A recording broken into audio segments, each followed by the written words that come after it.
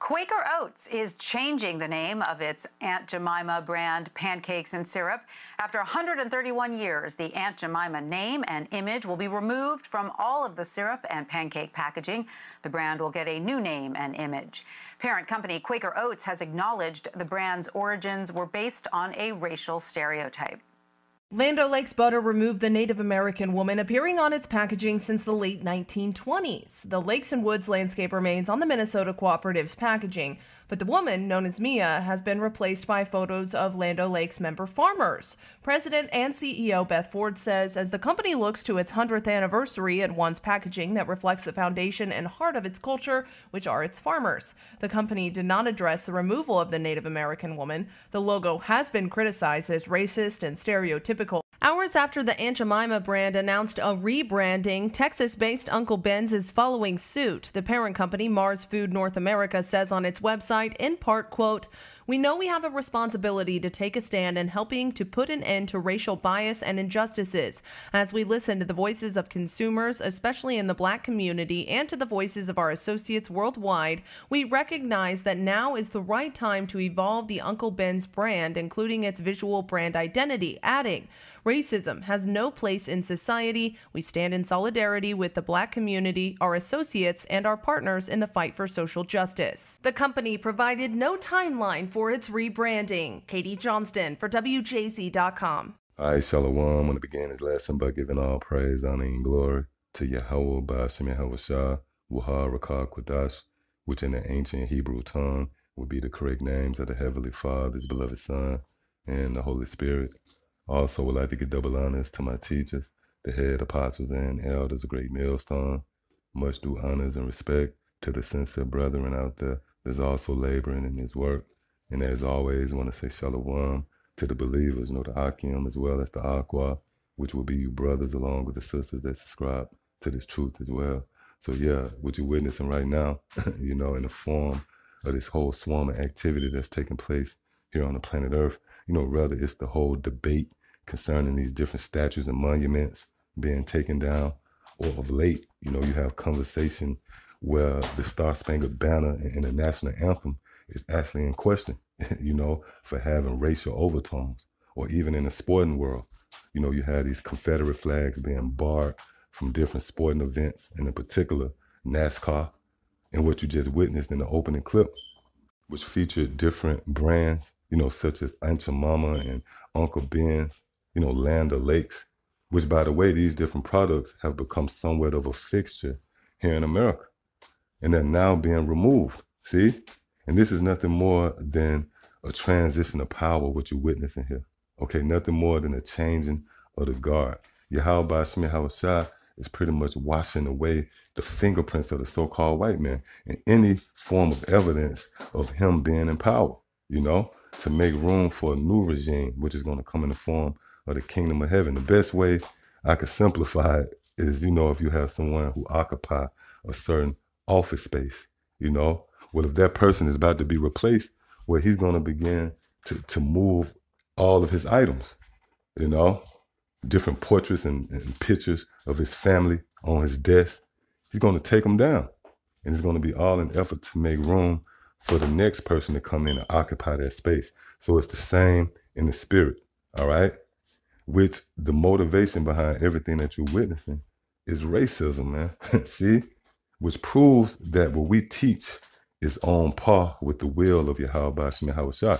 It's in harmony with the scriptures because the main rebuttal, if you will, that we receive mainly from our own people is this idea of the Lord loving everybody, man. You know, in this book, the Holy Bible is pretty much the banner to bring everybody together. Well, that's a demonic doctrine. That's a demonic idea, which goes back to, to the Tower of Babel, man.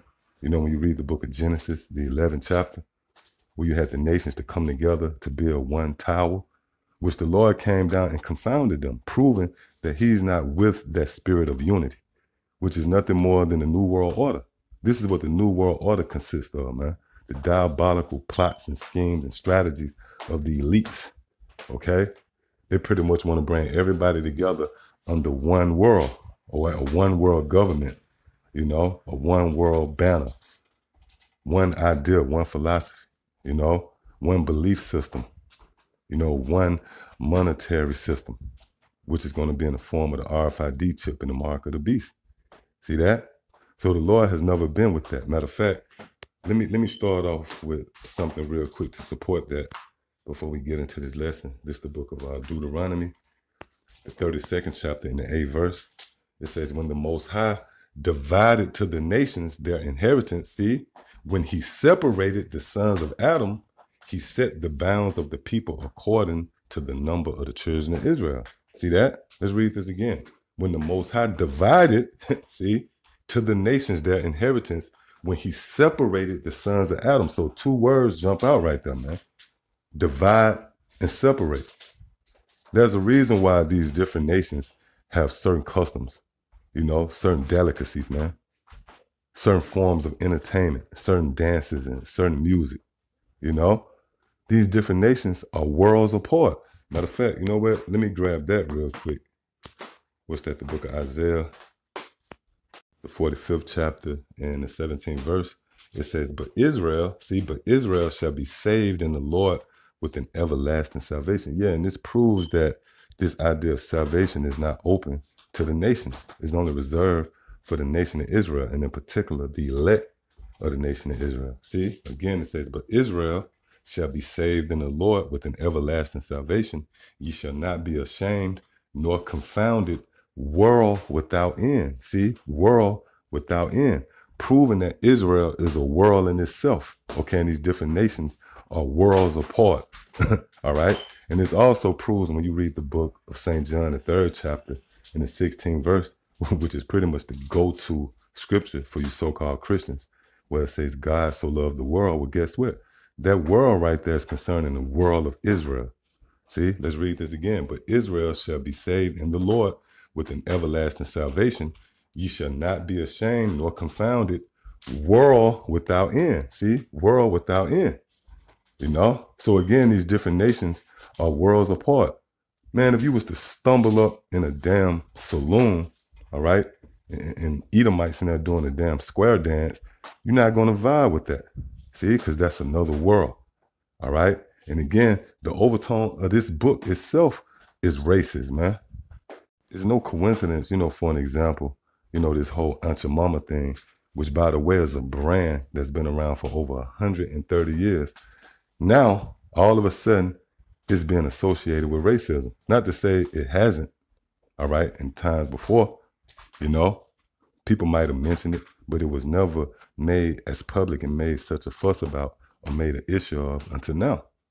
How convenient all of a sudden Jake is beginning to wake up to the fact that something is off about that statue, man, or something is racist about this brand, you know, or this image that they they packaging and selling to me. What's the reason behind that? Because this doctrine that we push forth is now beginning to accomplish what it was set out to do. All right. And that's to bring everything back into its proper order. And that order consists of us not coexisting with our enemies, man. Okay. What have we got out of uh, coexisting with the so called white man? Well, I'll tell you, being hung and lynched and castrated, man.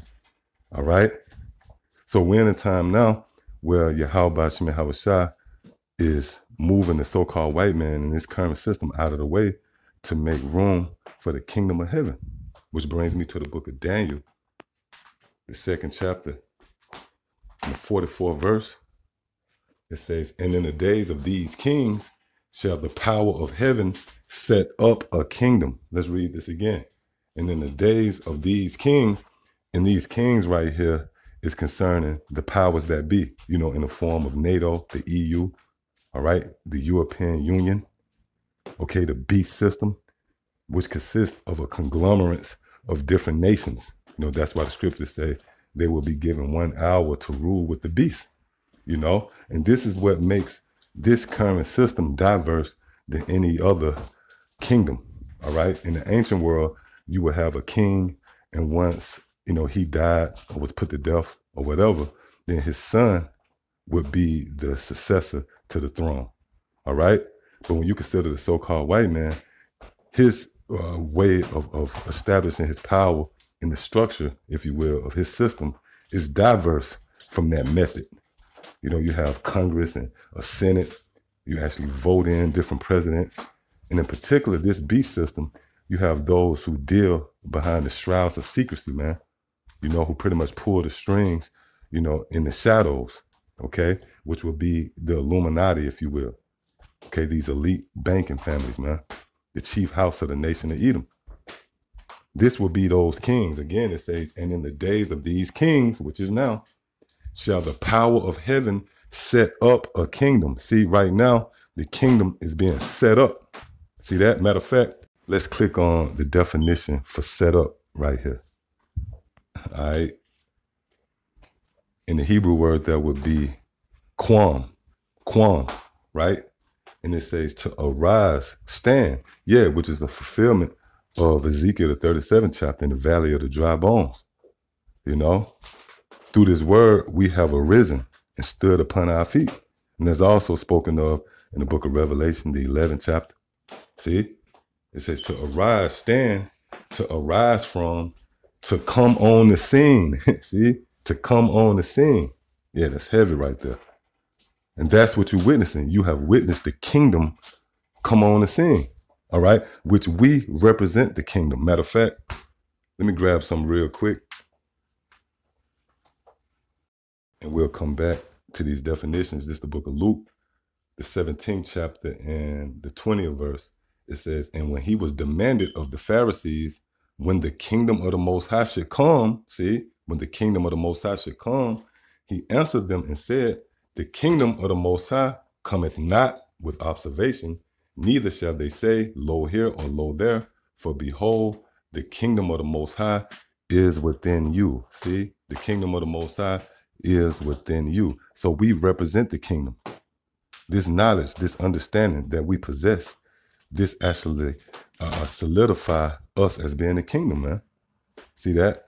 We hold a decree of Yahweh Shah, which is going to usher in this kingdom. We are declaring that there's a kingdom to come, you know? And this current system will be moved out of the way. See that? So when you go back to the definition for set up because again, the scriptures say in the days of these kings, the Lord shall set up a kingdom. All right. Again, it says to come on the scene. What you're witnessing right now in the form of these various camps throughout the landscape of America, you know, Babylon the Great, near and far for that matter, throughout the world, all right, is nothing more than a representation of the kingdom. These different camps, you know, is a testament that the kingdom has come on the scene. See? It says to arise, to stand, to endure, to set up, establish. See, to set up, establish. Right now, the Lord is establishing the kingdom of heaven. And in no wise could two kingdoms coexist with one another. So that's why simultaneously, as you see the nation of Israel being exalted, starting with the elect, the so-called white man in his current system is being taken out of the way. So this is no light thing. The fact that the so-called white man in these different uh, fixtures in America, in the form of these memorials and statues, and even something as subtle as Uncle Ben's, you know, being taken down because it represents a time where the so-called white man had a stronghold on us. But guess what? That's a form of the kingdom being established. If you're viewing this thing through spiritual lenses, man. Okay? The Lord is now raising up and setting up the kingdom of heaven. See? So when you go back here to the book of Daniel, again, the book of Daniel, the second chapter, and the 44th verse, it says, And in the days of these kings shall the power of heaven set up a kingdom. So again, that's what you're witnessing, man. The Lord is raising up the kingdom of heaven, you know? And you got to understand this is a process. The Heavenly Father is known as the husbandman, right? And what you're witnessing is husbandry. Now, when you plant a seed, there's a process, man, for that seed to grow. You don't plant a seed and it just bursts out of the ground a great mulberry tree, man. There's a process. And that's the same when considering kingdoms, you know, the rise and fall of kingdoms. matter of fact, you know what? Let me grab something real quick and we're going to go back. This is the book of Jeremiah, the first chapter, and starting at the ninth verse. It says, Then the Lord put forth his hand and touched my mouth and the Lord said unto me, Behold, I have put my words in thy mouth, proving that what we speak is sanctioned by Yahweh Shah. The Lord has decreed a certain time for this current system, this reign of terror perpetuated by the so-called white man to be moved out of the way. See, and simultaneously, the Lord has decreed the rise of the kingdom of heaven. See, verse 10 See, I have this day set thee over the nations and over the kingdoms to root out. See, to root out. That's what you do with a plant. And that's what's happening with the so-called white man in his current system. It's being rooted up, see, to root out and to pull down and to destroy and to throw down, to build and to plant. See that? So simultaneously, as this place is being rooted up, you know, and, and pulled down, right? Well, the Lord is actually building and planting the kingdom of heaven. See that? Which again, this will be a process. So what you're witnessing is the setting up of the kingdom. See that? Matter of fact, let me grab one more quick one before we go back. That's the book of Ezekiel, the 17th chapter, in the 24th verse. It says, And all the trees of the field shall know that I, the Lord, have brought down the high tree, see, which is dealing with the so called white man, Esau, in his current system, have exalted the low tree. So you see what simultaneously, as the Lord is bringing down this current system, he's exalting the children of Israel, again, starting with the elect. All right? But the point is, the Lord is comparing these two kingdoms to trees, which is a process. When you plant a seed, there's a process for that seed to grow into that tree. See that? Again, the I, the Lord, have brought down the high tree, have exalted the low tree, have dried up the green tree, and have made the dry tree to flourish. I, the Lord, have spoken and have done it. Yeah, so the Lord is taking responsibility for what you're witnessing, man. So the Lord is exalting the children of Israel and setting up this kingdom. See? So when you go back here to the book of Daniel, again in the second chapter, in the 44th verse, it says, And in the days of these kings shall the power of heaven set up a kingdom which shall never be destroyed. Yeah, and that's the difference with this kingdom that's being set up is going to be a perpetual kingdom. Why? Because we're going to keep the law, statutes, and commandments of Yahweh which is the very opposite of what the so-called white man did. And this is why his kingdom, this is what's contributing to the fall of his kingdom. See? Matter of fact, let's grab that. It's the book of Isaiah, the 24th chapter. In the fifth verse, it says, The earth also is defiled under the inhabitants thereof, because they have transgressed the laws. See? Changed the ordinance, broken the everlasting covenant. See that? So by these devils changing, you know, the, the ordinance, and because they are uh, transgressing the laws of Yahweh by Hashem then they're going to be moved out of the way. Not to mention all the wickedness and bloodshed that he left in his wake in his pursuit to power. You know? Matter of fact, let me grab that real quick. It's the book of Ecclesiasticus, the 10th chapter. In the 8th verse, it says, Because of unrighteous dealings, injuries, and riches got by deceit, the kingdom is translated from one people to another. See? And that one people would be the so called white man. And that power is being translated to the so called Negroes, Latinos, and Native Americans, all right? Which would be the Israelites, and in particular, the elect of the nation of Israel. See? So again, back in Daniel, the second chapter, in the 44th verse, and in the days of these kings shall the power of heaven set up a kingdom which shall never be destroyed, and the kingdom shall not be left to other people. Yeah, we're not going to have to ever look over our shoulder again. Why? Because we're going to be in harmony with the will of Yahweh Shah. We're going to keep the laws, statutes, and commandments in the kingdom of heaven, man. Okay? It says, but it shall break in pieces and consume all these kingdoms, and it shall stand forever. Yeah, meaning we're going to rule. It's going to be a rigorous rule in the kingdom. And that's pursuant to the book of Revelation, the second chapter, the 26 and 27 verse, where the Lord said we're going to rule over the nations with a rod of iron, man. So pretty much it's going to be a dictatorship, if you will, in the kingdom. We're going to force the laws of Yahweh on you people, man. We're going to enforce it by way of that rod of iron. And again, what you're witnessing right now is the beginning stages of that. okay, the mere fact that everything that so-called white man has uh, set up, you know, as a memorial and a reminder of him ruling over us is being moved out of the way. See?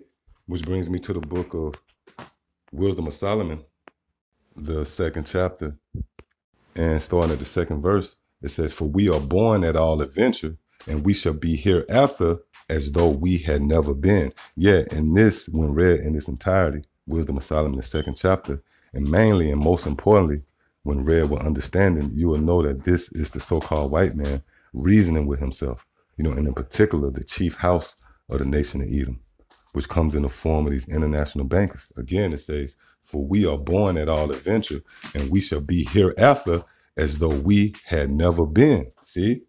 For the breath in our nostrils is as smoke and a little spark in the moving of our heart, which being extinguished, our body shall be turned into ashes yet, which is symbolic to the destruction. And our spirit shall vanish as the soft air. See? And our name shall be forgotten in time. Yeah, in the kingdom, you're not going to remember the works of the so-called white man. See? It says, and no man shall have our works in remembrance. See that? And we are in the beginning stages of that process, man. Remember, this is a process. You know, the mere fact that this man is taking down statues, memorials, which that word memorial goes into memory, man.